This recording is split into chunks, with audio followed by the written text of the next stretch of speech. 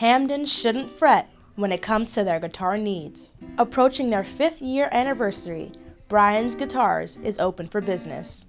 Brian Giampetro has dedicated his life to music. I started playing guitar in elementary school, uh, played guitar in some bands in high school, and then went to college for music. Brian's Guitars, a small business that sells high end, custom, one of a kind guitars all around the world.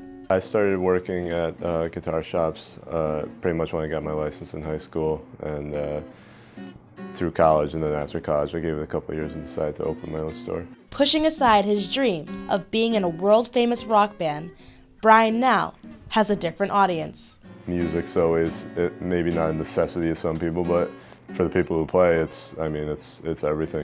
For Brian, playing the guitar isn't just a hobby, but a family affair. One of the first stores I worked at was my uncle's, uh, and it was another high-end kind of thing. He was one of the first to do it, and um, I, from there I just always had a passion for higher-end guitars and things. His passion has fueled the store to success as a small business against larger competitors.